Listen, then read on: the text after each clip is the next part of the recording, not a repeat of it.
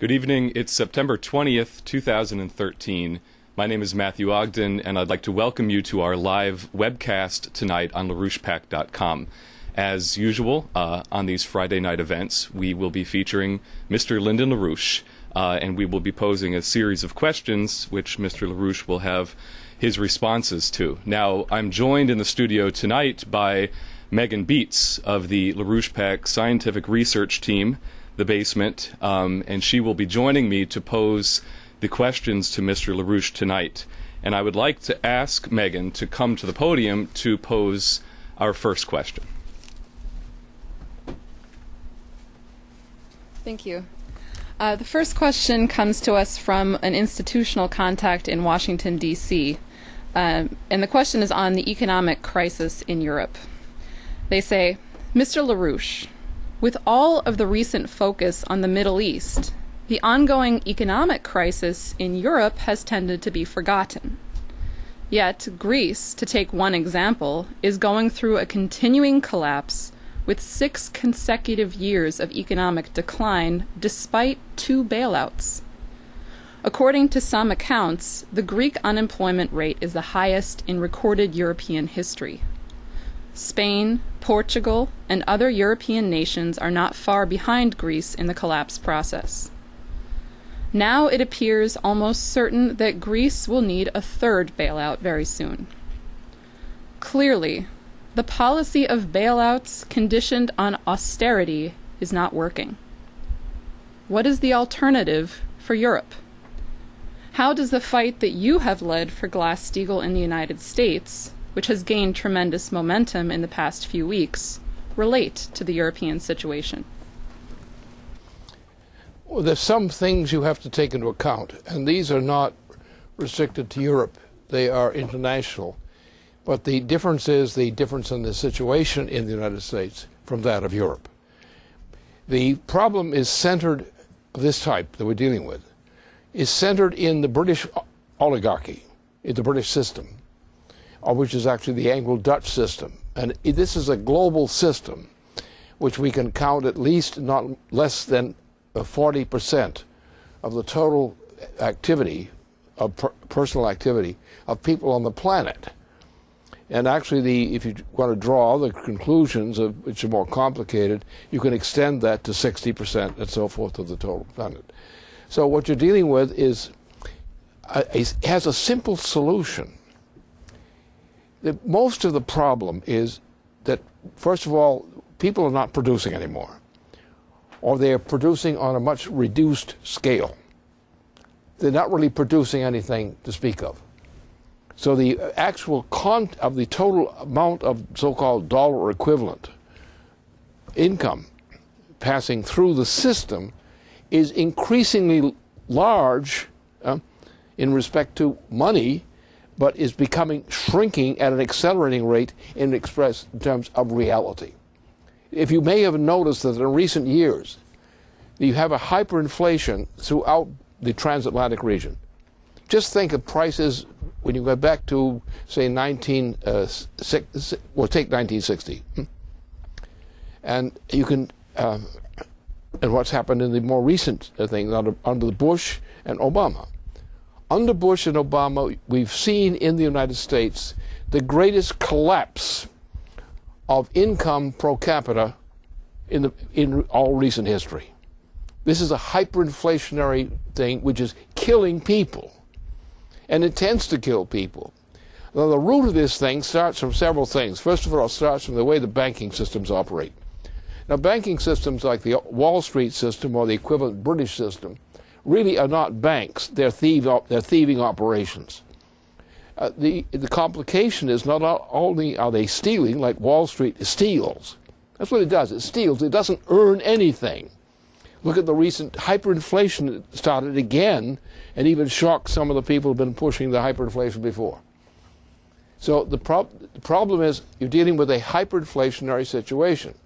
Now, if we were, say, we apply Glass-Steagall,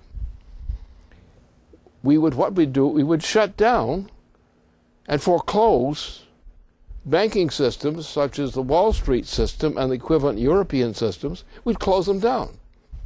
Because all we have to do is call them in for an accounting and say, well, you've had this debt that you call debt.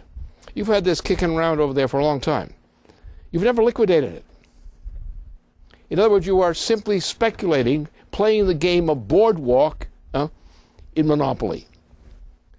And so the game goes up, the prices go up, the money flows, the income reality collapses. So, therefore, there's a good side to this, or beautiful side to which we say. The beautiful side, if we do the right thing, and if we put through Glass Steagall, we will just automatically liquidate most of Wall Street and similar kind of institutions in Europe. You see, in Switzerland, for example, in the Swiss banks are now causing a crisis uh, feeling throughout much of Europe.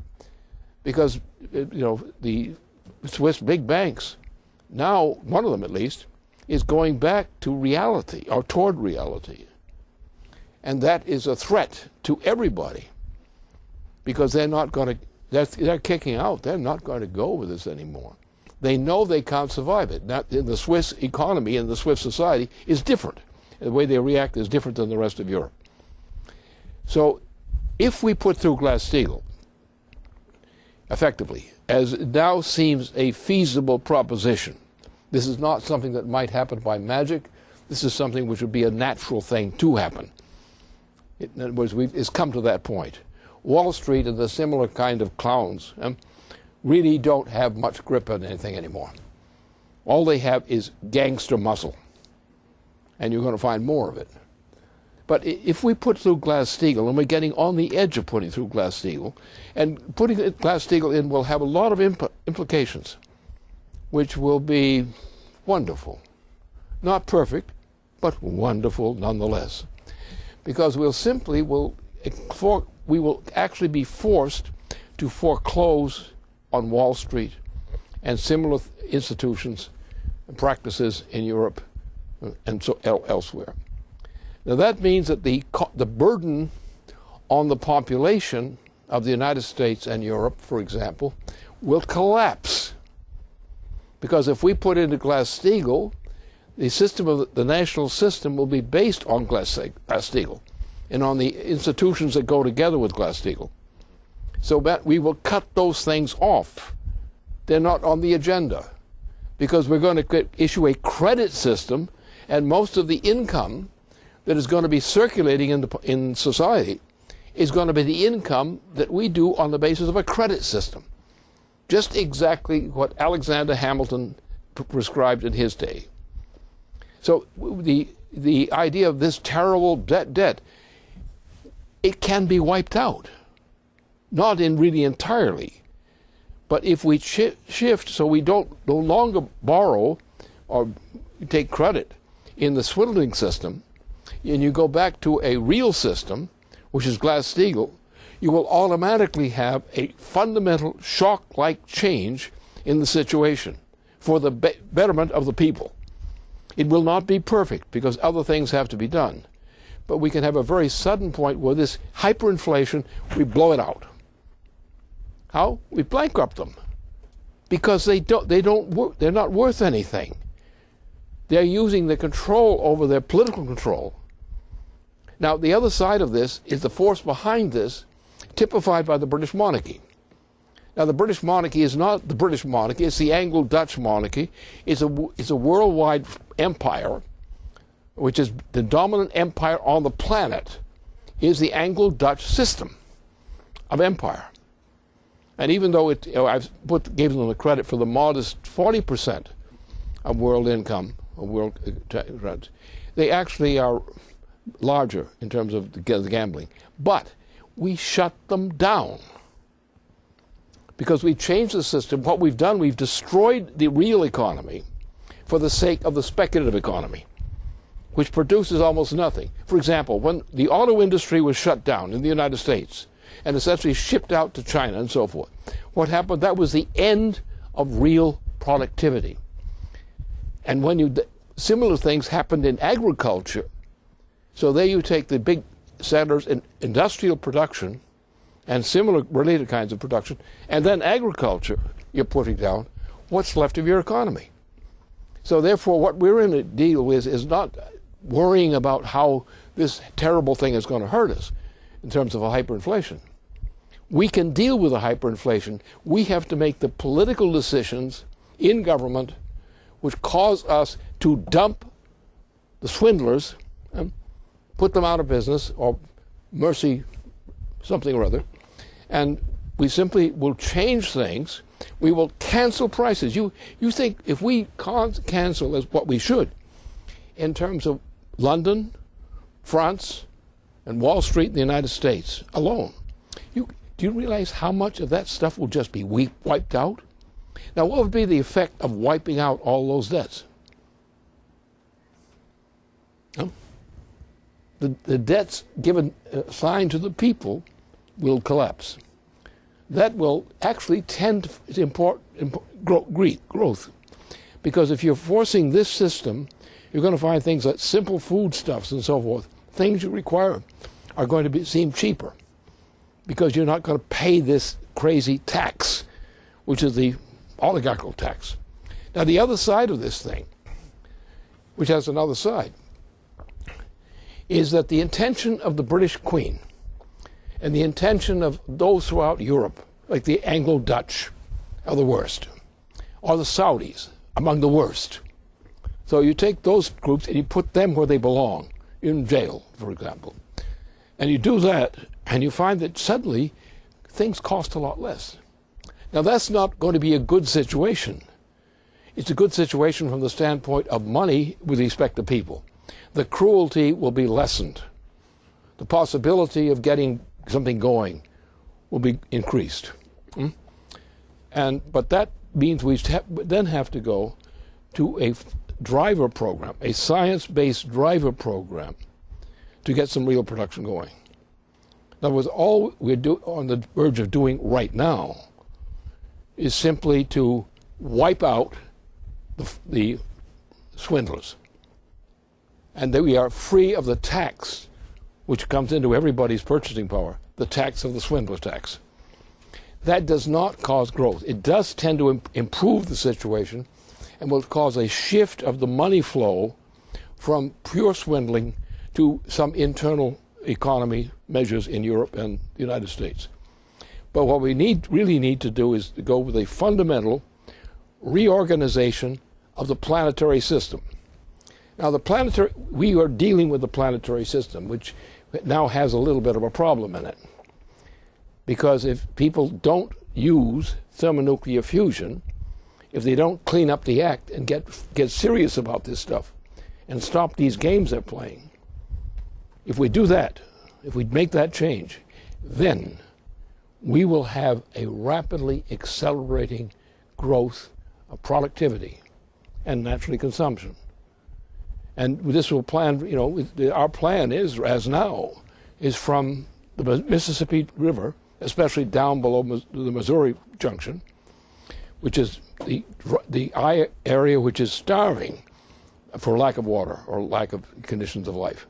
So we take this whole area just below the Canadian border and uh, below that, into Mexico. If we put that system into work, we and with the kind of water system and driver system, which goes beyond NAWAPA, which goes across not only the, the western part of the United States and Mexico, and actually flows into Canada as well, and Alaska, but it goes into Asia. So it would be the greatest driver program that mankind has ever conceived. It will come. It'll start relatively slow in terms of rates of growth and so forth, but this means an end to that system. It means an end to the kind of political system too, which does that sort of stuff that's been, that's been doing. It means that these guys are going to go into the poor box. They'll try to raid it, but they'll they'll be there. They'll be res- taking residence there in the meantime. But the only way to understand this is to say, what is the alternative? Are you going to complain about it say that great injustice is being perpetrated? Of course it's being perpetrated. But if you do something about it, it's not going to be perpetrated anymore. Now it's just a problem, a challenge to solve the problem. And to do that, two things. first of all, shut that thing down, shut that system down, and go back to an honest system and try to manage. The, uh, the drop in costs, the actual earned costs or incurred costs, will drop the time you shut down Wall Street and do the same thing in relevant periods of Europe, which means we get a respite, which gives us an opportunity to change these things. Then we have to do a large project, which will probably come chiefly if we can get the thermonuclear program going, thermonuclear fusion program going. And there are problems in getting it going. In principle, it will work.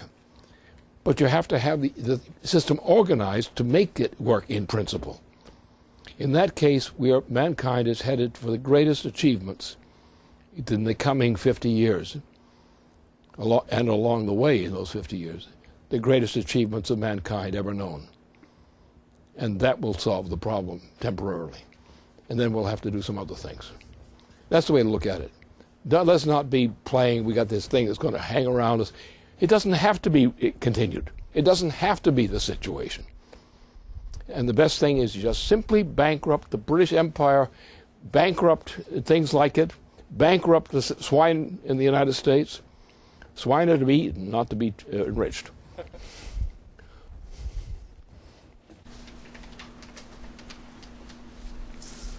Well, I'd like to follow up then on what you've just raised in terms of the driver program and ask you a question on the fusion economy.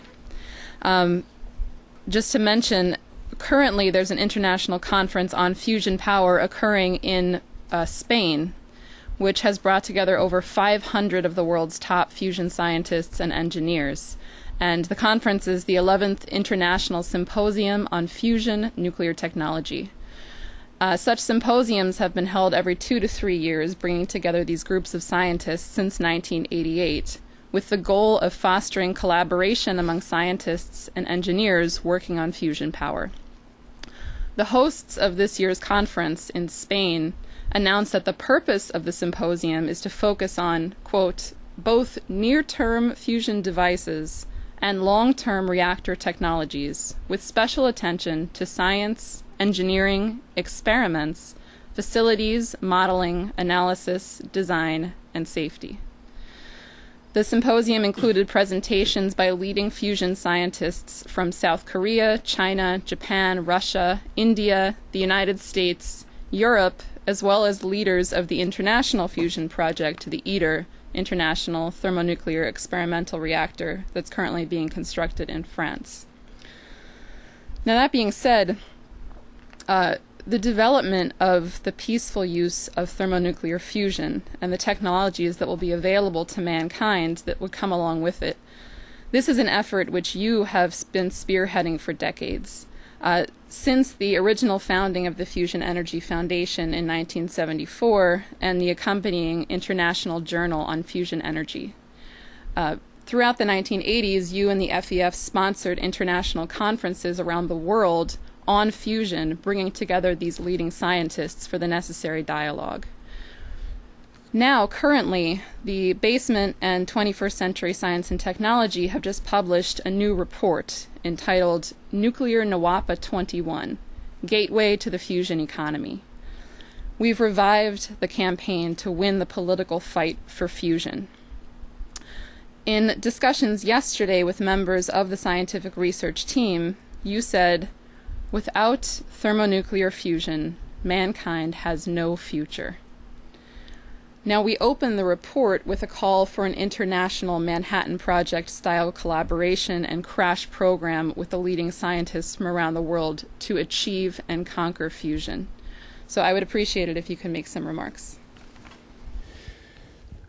the problem is, is that since the early 1970s, but particularly since 1980, 82, the, what has happened is the fusion program, or the real nuclear power program, has been shut down. It's been shut down in two areas. It's been shut down increasingly in the area of, of simple uh, nuclear power, simple fission power.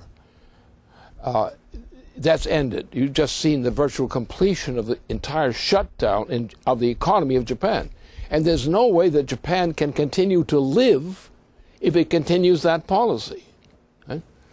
That's, and that's the problem in most parts of the world. The fact that we don't have any productive flows. Now, this is in part it's inevitable. Because if you know the difference between mankind and an ape, which some people in government seem not to know, in matter of fact, the apes are blush and embarrassed when every time they bring up men these days, for that just exactly that reason. Is that mankind is the only species of its nature. We seem to look like monkeys. Some people behave like monkeys, and sometimes the monkeys are embarrassed to know to acknowledge them as cousins. But in, in the problem here is that it is inherent that mankind is the only species that has the willful power to increase its productivity. Yeah. So therefore, you ha- it's the and the, this means that as you go from simple, you know, long time ago in Southern Africa, we know we have spotted cases where there are people that was someone who said they're monkeys or they're baboons or gorillas or something, yeah? and if they would find in some of these areas they would find actual baboons and so forth, or baboon-like creatures, gorilla-like creatures and so forth. And this is the South African way where, where they got the best reports on this kind of stuff.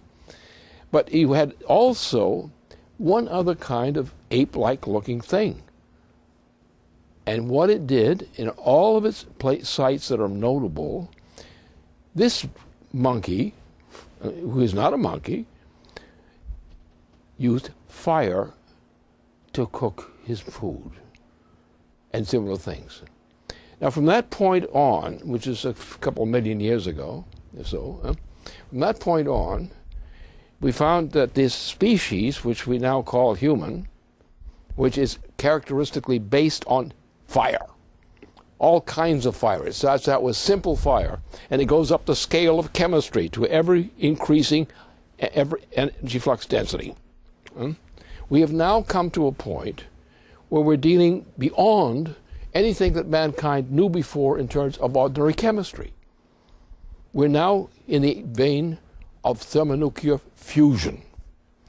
If this means that the existence of the human species, the continued existence of the human species, now requires the utilization on a massive scale of thermonuclear fusion. We don't use coal anymore that's the principle. We, we still use coal. But we are going up to the level of chemistry so that the composition of human activity is based on increasing levels, you know, like, like species types, um, which are a higher order of density.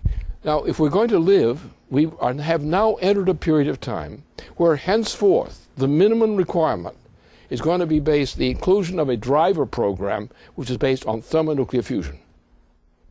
Um, so we have naturally come to a point, as I've noted this thing, we're now going to the point from the Mississippi River edge, uh, uh, especially down from where the Missouri comes into the Mississippi.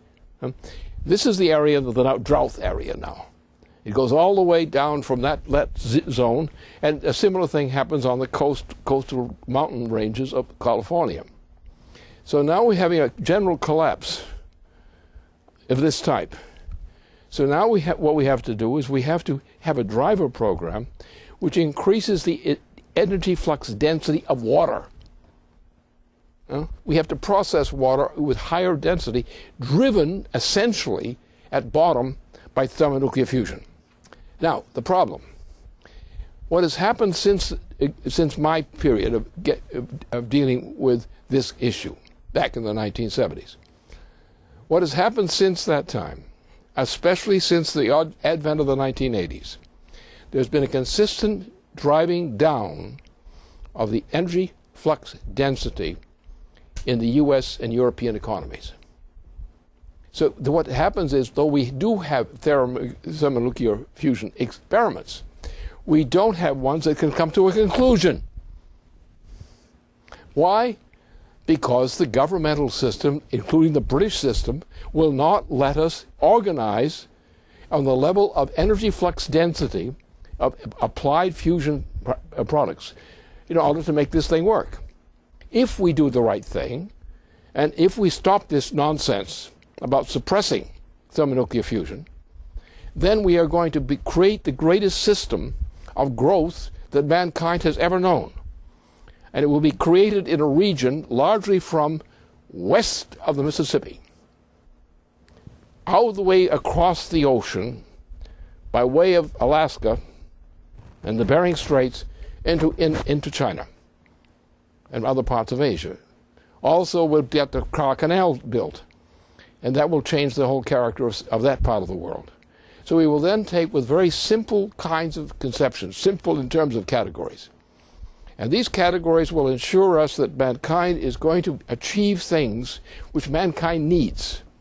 And the point is, as contrary to these stupid people, these brutish, stupid people, who believe in the green policy, the green policy, if it continues, will be the death of mankind. We have to crush the green and get back into real stuff. And what's required is the, hist- the history of man, the history of the biology of man, from something like a, a, a gorilla, looking something like a gorilla in South Africa, but using fire for his subsistence. From there, man has continued the process of progress, not always consistently. The oligarchical system has arisen and crushed this kind of thing. But now we've come to the point where humanity will not exist for much longer without the benefits of full scope thermonuclear fusion. That has to be our destiny, our immediate destiny. Now, I shan't be around to, to finish that process, but I am damn determined to make sure that other people continue the process and succeed. And that's the way to look at this thing.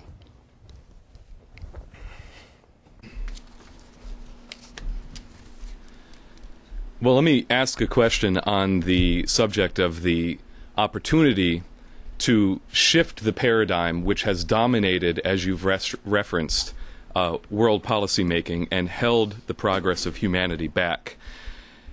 Um, in the wake of the strategic and diplomatic victory that President Vladimir Putin and Sergei Lavrov uh, won in the case of Syria, with the successful outflanking of Obama to defuse the bomb, which would have detonated World War III had the operation in Syria gone forward. There are now similar efforts to achieve a similar result concerning the threat of war with Iran. Um, Hassan Rouhani, the newly elected president of Iran, has been making very public efforts at initiating a policy of what he calls constructive engagement. Uh, on the eve of his trip to New York City uh, for the upcoming General Assembly meeting of the United Nations, Rouhani has made several direct appearances in the United States press on NBC, NBC television and just yesterday in an op ed that he published in the Washington Post, which have allowed him to speak directly to the American people much in the same way that President Putin did in his op ed of the New York Times from last week. And what President Rouhani asserts in this op ed is that we have the urgent necessity of overcoming the ingrained Cold War mentality of zero sum game, geopolitical unilateralism, and imperialism in the favor of constructive engagement, as he calls it, between great powers in the spirit of mutual benefit and security. And he emphasizes that the key to this kind of dialogue is the recognition and the respect for different, distinct cultures and national identities of sovereign states. And the only way to establish this new paradigm in international relations is to cease focusing on the negatives and to begin uh, focusing on a positive vision for the future of all of humanity. So his his uh, appeal to world leaders is to have the courage to look beyond rivalries of the present and to embrace a vision of the future that they wish to create for their children and their grandchildren. So I think it's significant that these initiatives from Rouhani and from Vladimir Putin both come in the wake of the recent meetings of the SCO in uh, in China, where Rouhani and Putin and President Xi Jinping were in dialogue uh, about precisely this this vision of the future, uh, what Xi Jinping defined as the new Silk Road or the Eurasian land bridge. And uh, this is something which you've emphasized for years would be based on the principle of the Treaty of Westphalia, um, the benefit of the other, or, in other words, the common interest of mankind. And this is something which has also been the basis of the proposals for the SDE, the Strategic Defense of Earth. So, my question is with this clear opportunity for a paradigm shift in our hand, how can we secure the necessary political victories in order to make this possible? Well, the problem is is that the optimistic view, which is implied by Iran, implied by China, implied by Russia, is in a sense an accident, and it will not solve the problem. Because remember that when you we've come to the point where weapons which decide wars are thermonuclear weapons. Now, the very fear of the thermonuclear factor terrifies people. What's worse than that? We've reached the point that war, as we have known it, among human beings is no longer possible if human beings wish to survive. Because when you come to the point that the existence of society depends upon thermonuclear fusion, you no longer have the option of simply negotiating peace. Now, what you will preserve, because culture is so important, that the cultures of various nations and peoples are things which will continue to be, maybe decreasingly all, in the long term, but for the, for the immediate period, for the next couple of centuries, the planet is going to be based on national cultures in one way or the other. And therefore, the national cultures naturally tends to lead, if you're rational, to peace, not to war.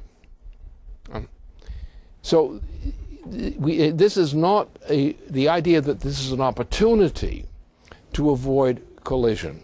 It doesn't work. Because the problem is if you don't develop thermonuclear fusion, now you're not going to be able to maintain an assured defense of the existence of the human species.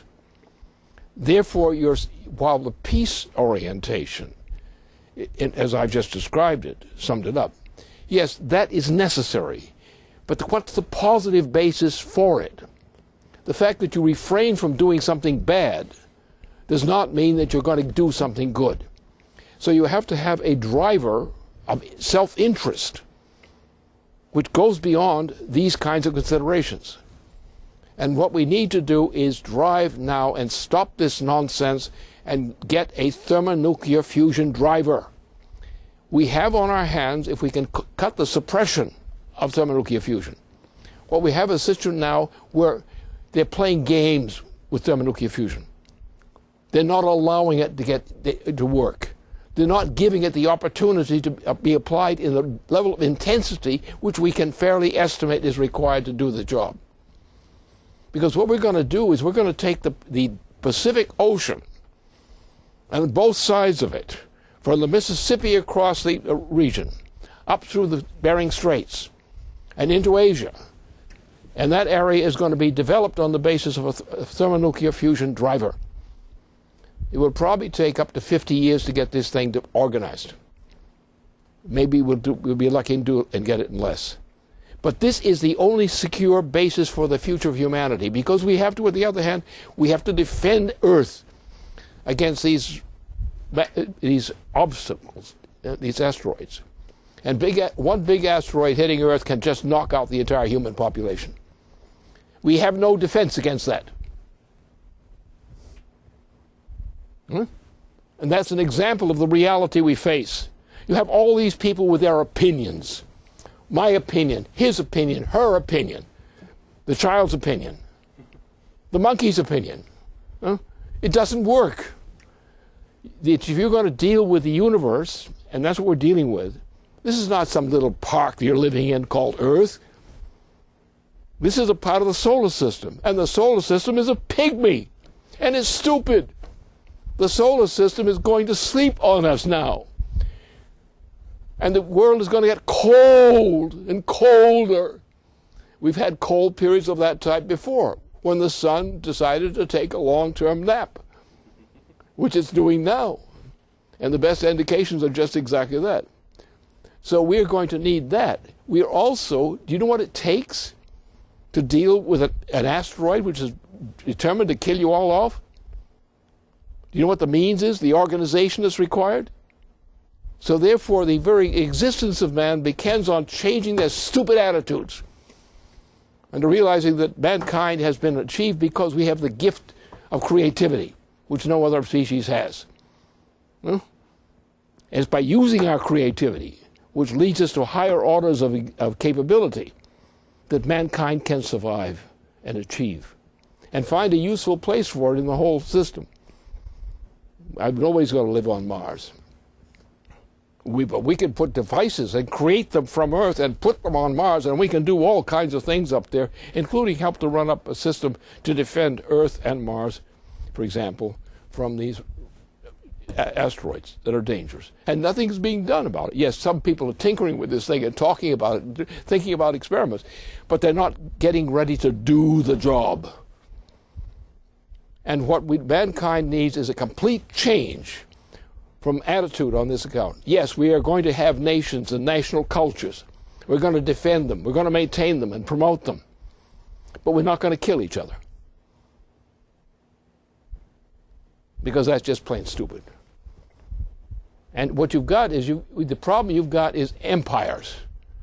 You've got the imperial system. And for a long time we don't even know too clearly how this worked out. But the, what a division occurred between two kinds of human beings. Oligarchs and slaves. And you were mostly slaves in that category. And the, what, the, what the oligarchs' chance was say, well, mankind, if mankind is have a large population, then the, mankind will take over away from the oligarchy. Therefore, we must periodically kill off mankind in general in order to protect ourselves against, for, in behalf of the oligarchy. That's what the Queen is doing. The whole rumpus now is based on the Queen's policy of reducing the human population to 1 billion or less from its present level of 7 billion. That's what this whole confusion is. And therefore, what you've got to do is you've got to get rid of the oligarchy, including what the Queen of England represents. You've got to get rid of it because this is what's controlling the planet. And if we, if we just sit and try to do what we do as we do now, mankind won't survive. If you want mankind to survive, you've got to accept the preconditions of development which are necessary to permit the possibility of man's survival. Under those conditions, mankind can do very well. But right now, we've got the problem. We've got the western areas of the United States and northern Mexico and so forth are hopeless right now. The United States is dying physically because of Wall Street and the Queen of England. These are the forces that are destroying the ability of human beings to live as a species. And therefore, we need, pro- we need projects which do a multiple number of things that we need done. We need, to, we need to protect man now as a species. We need to free man from the slavery that Wall Street merely typifies. Shut down Wall Street. It doesn't earn anything, it's not good for anything. Huh? If it does anything good, it's an accident. Huh? We need bigger accidents of that kind um, and take them out. We need the end of the oligarchical system. And if we don't get that, then the very weapons which we could use to save mankind would be used by mankind against itself. So the time has come, no bones about it. Anybody who's got a different opinion, contrary to what I just said, is an idiot.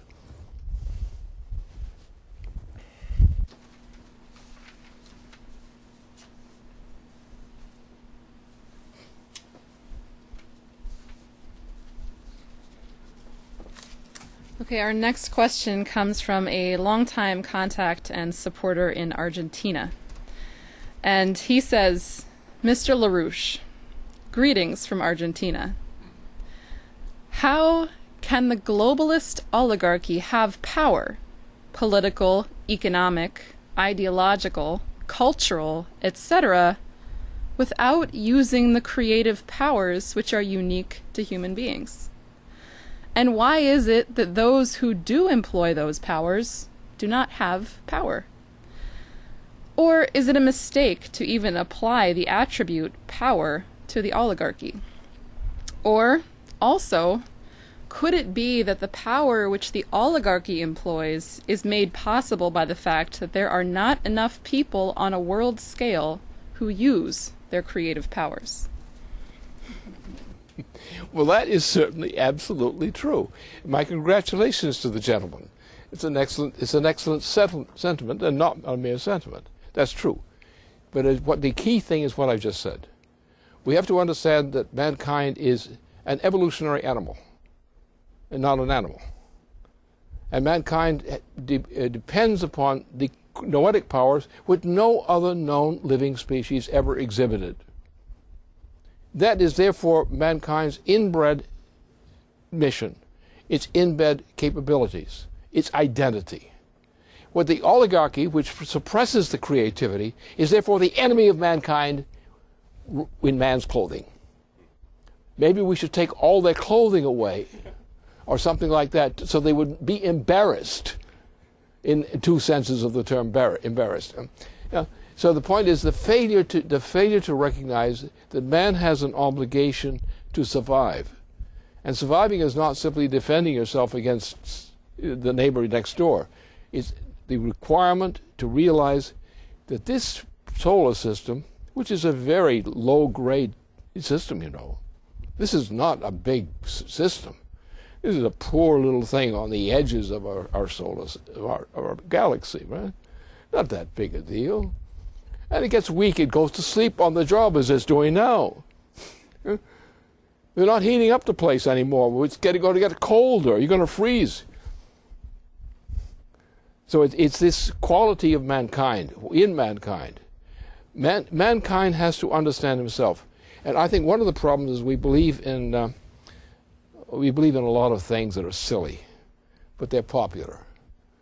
Uh, we got a neighbor by nearby. Anyway, so that that this what we have to do is understand we've come to the end of the possibility of running the planet the way it's been run by mankind so far. What we have is we have tickles. We have cases in which gestures have been made in the direction of proving what mankind is and can be. And apart from all these damn idiots and fools. And therefore, what we have to do is instead of sitting back and saying, well, it's not our time, it's not the, t- they won't let us do this now, it's not our time. We have to go along with the way things are. That's just plain stupidity. I mean, you have to realize what a poor little solar system we live in. And we think Jupiter is a mighty object out in that solar system. Well, the whole system is going to go to sleep on us. You kidding yourself? Which means that mankind has intellectual capabilities innate to mankind. These have to be called forth, and instead of trying to use ordinary opinions, we've got to say, what is it that threatens man, even by our negligence? Hmm? And how do we do something about it? How do we defend ourselves against asteroids which could wipe out mankind on Earth in one blow? and similar kinds of things in this planet obviously mankind has to act as really bigger than the sun, not in size, not in weight, not in temperature, but mankind is smarter than the sun. We just have to learn, learn that fact.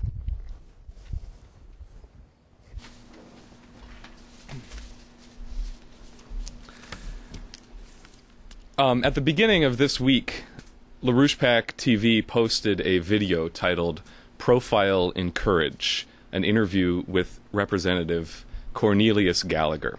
Um, Neil Gallagher is a former congressman from New Jersey, and the interview covers his experience fighting almost single handedly against the secret government that had taken over the United States in the wake of Franklin Roosevelt's death and was largely responsible for the assassination of John F. Kennedy 50 years ago and the reign of terror that was asserted over Congress by J. Edgar Hoover's FBI.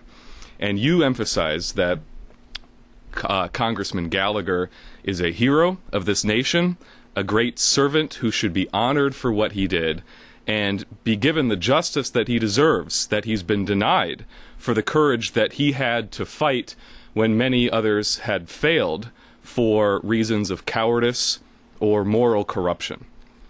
Um, now, what Gallagher describes is a process of behavior modification of the United States Congress, uh, which caused Congress and many who came to Washington with great intentions and um, patriotic ideals to be morally corrupted and to give up on their fight, uh, such that they could no longer look at themselves in the mirror.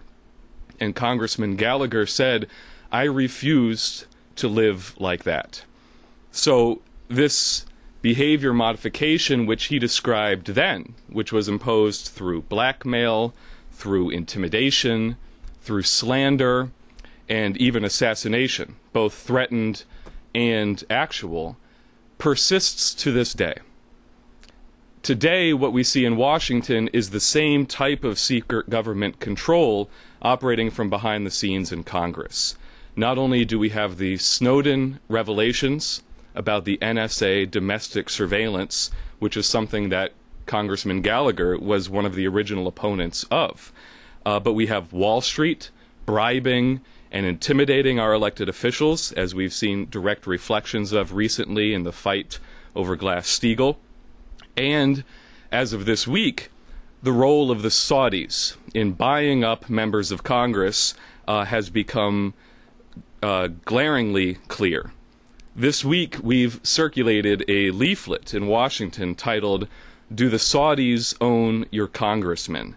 And the, uh, that was also the title of a large banner which we had erected outside Washington this past Wednesday on Capitol Hill, which certainly made some waves. And several news stories have been published, including in the Wall Street Journal, about the role of Prince Bandar uh, in funneling massive amounts of cash into the pockets of several key members of the Senate and the House. Um, with intelligence expert Wayne Madsen even speculating that perhaps this cash originated from the money that was uh, accrued through the Saudi BAE slush fund under the auspices of Al Yamama, uh, which was also the money that was involved in financing the attacks of 9 11. Now, what we've done in this past week is to crack this Saudi apparatus wide open. Uh, last week, Congressman Walter Jones issued a press release in which he announced that he actually had the opportunity to read the secret classified 28 pages of the original 9 11 Commission report, which reportedly deal with the Saudi role in coordinating and financing the support network behind the attacks of 9 11. And uh, what has happened now in the wake of Jones's announcement is that this initiative has set the precedent and opened the door and has caught the attention of congressmen from both the Republican and the Democratic side who are now saying in direct conversations that we've had with them, both Republican and Democrat, saying, I have to see those 28 pages. If Jones has seen them, then I have to follow in his footsteps and use my clearance to do the same. And I have to know what those 28 pages contain. So, my question is in taking on this secret government apparatus, which is the expression of the Anglo Dutch oligarchical system inside the United States, what lessons must members of Congress learn from the experience of both Congressman Gallagher and yourself? And what will give these congressmen the strength to endure the type of threats and abuse which come along with taking on the enemies of this nation? Uh, this is a slightly complicated matter. Uh, first of all, what's obvious is that as long as the British system, the Anglo Dutch system, dominates this planet, there is no real hope for humanity on this planet. So that rubbish has to be removed. That's the first thing. Uh, and we have to have a, we have to mobilize people on the basis of being tough on them. Because what they're doing is in one sense what it was customarily to be done was cowardice prevailed. What we've seen recently since well it started probably in uh, the fall or, or late spring of the previous year. We got some guts began to flow, and our organization, as small as it was, was able to start something happening in a direction which uh, caught on with other people. Not because they were our some kind of attachment to us, but because they, when they saw what we were saying, recognized that that was their interest too. Not that it was our interest to, to, to support them, but they knew it was their interest too. And that I, were, I was doing something about it. We were doing something about it. It seemed timid at the first. But as you notice, and recently, uh, in California in particular, uh, in Delaware first, but then in California, Wall Street suddenly realized that they had gone to sleep that I was taking over the nation. No, I was not taking over the nation, as any of you know. But I, we were leading, we were providing a movement which had a self authoritative characteristic. And because we stick to it, stuck to the thing, and because we were right, and people more and more recognized we were right. And they also recognized what a bunch of stinking bums we had on the other side. So what we've had now, we have a process where Glass-Steagall, but also other things, is now a factor which is influencing the entire population. And only bad people in general still like Wall Street. And even Wall Street doesn't like Wall Street. We saw recently where some of them are trying to hold back on the hyperinflation, and they, some of the other guys were going along with a real hyperinflation. The most stupid thing they could possibly do. Because, you know, sometimes criminals are stupid as well as being criminals. They're nasty, but they're no good for themselves or anybody else. And so the situation is now that we have to concentrate on things which I said earlier this evening before you and we have to uh, get people to halt and think. Realize that Jupiter is not the problem. Saturn is not the problem though we think there's some Saturnalia going on in London, but that's another matter. But this is, this is the thing we have to base on. We have to realize what I've said earlier. Mankind has to recognize its destiny, which is not some miracle thing out there. It's simply that we have certain capabilities because we are human and because we have a quality that no other animal has. Mankind is the only species that is capable of forecasting the future. Therefore, we have the greatest power that you can imagine uh, by being human beings. The greatest power inside the solar system is the creativity of mankind. And that's what we must base ourselves on. That's what you know what Gallagher was doing. The same thing. He's saying Take, take, the, take the good things and make the good things in life your weapons for better. And so th- we simply have to understand that you can you have no right to be stupid. You have no right to suck the blood of the oligarchs. You have no right. You have no right for stupidity. You have a commitment given to you by the fact that you're creative, that you have the power to know the future. So you cannot be excused for disregarding the future. And that's where we are. And we just have to hope that more people realize what I've said. Mankind is the only creature that is capable of forecasting the actual future, which has been my profession for a number of years, uh, a number of decades. Mankind has that innate capability. And all the people say you can't know the future are the damn poor damn fools.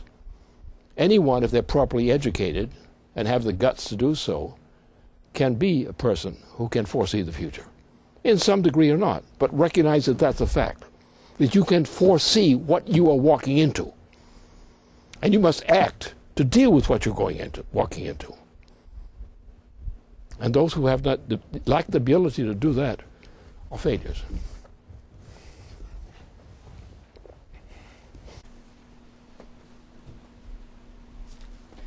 So I'd like to ask you one final question as a follow up to uh, comments you just concluded on the issue of art and creativity.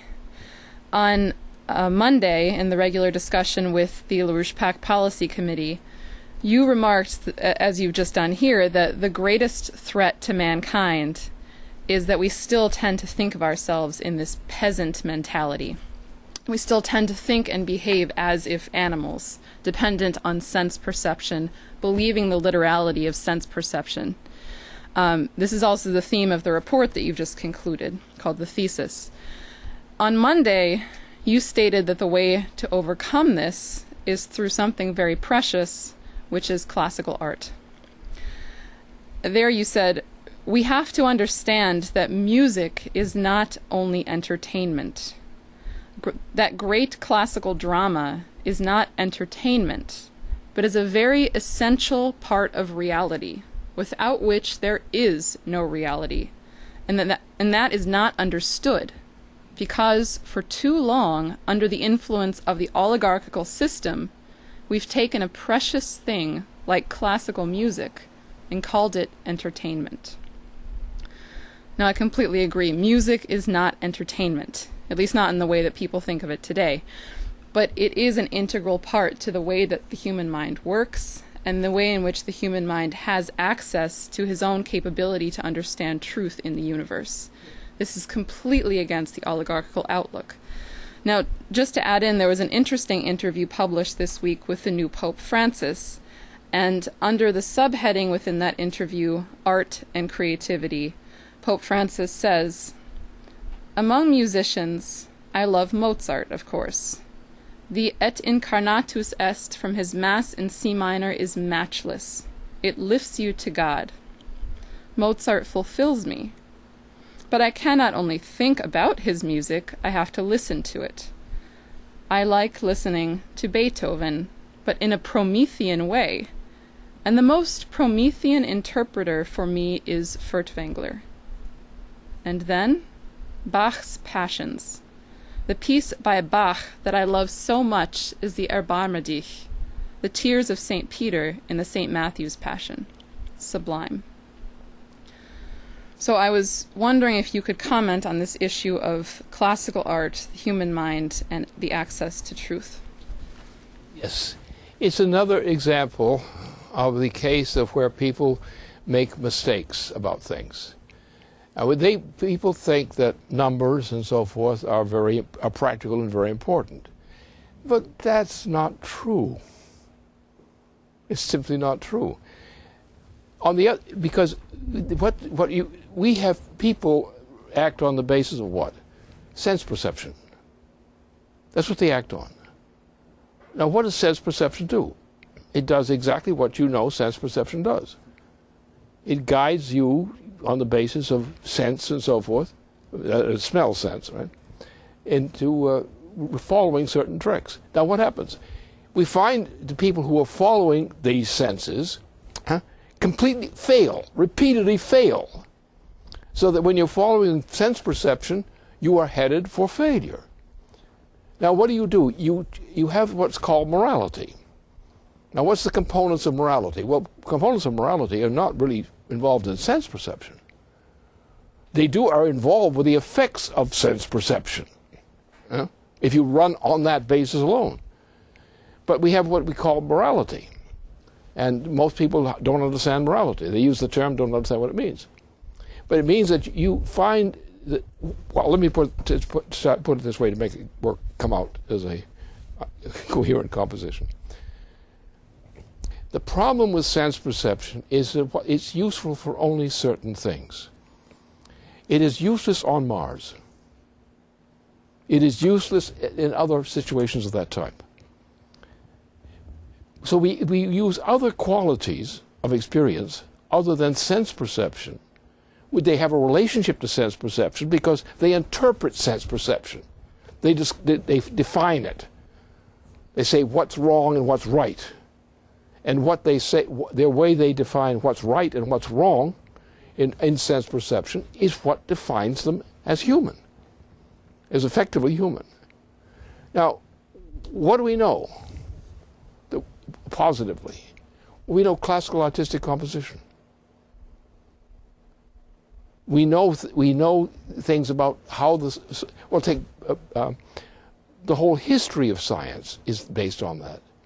That sense and other things are are part. It says, and sense perception is the least important of our capabilities. Sense perception alone defines ignorance, crudity, and so forth. And something then something warns you that sense perception is such, if you're following that, greed and so forth ensues. So what, what do you do? You get an insight into how the human mind actually works to solve problems.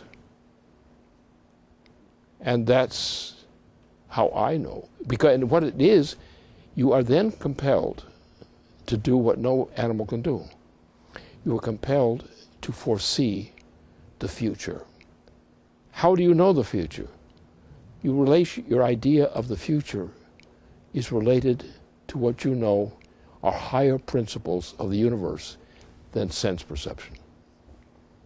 So you interpret sense perception, you use sense perception, but pretend it. You don't worship it. You don't give way to it. You're not a practical person.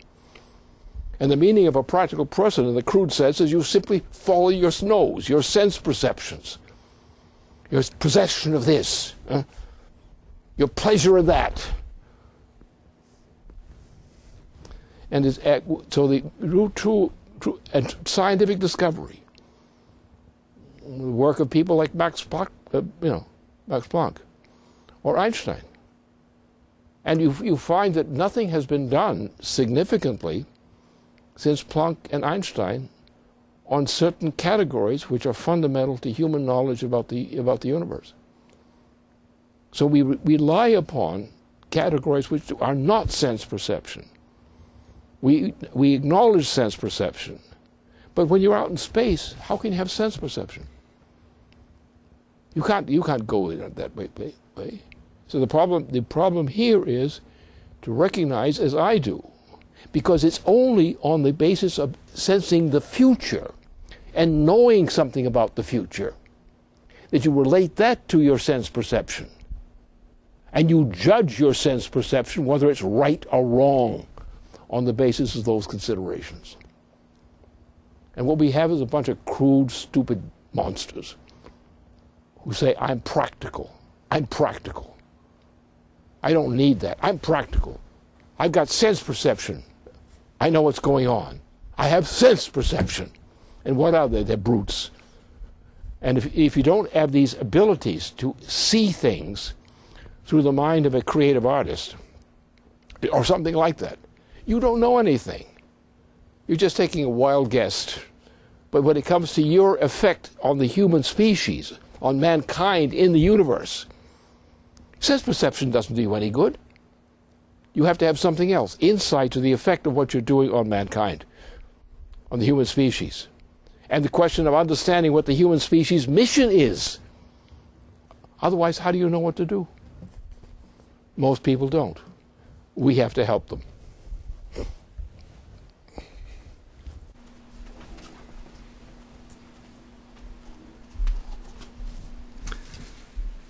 Thank you very much, Lyn. Um, that brings a conclusion to our webcast for tonight. I'd like to thank Megan for joining me tonight, and uh, I'd like to thank all of you for tuning in. So, good evening. That brings a conclusion to our broadcast tonight. Stay tuned.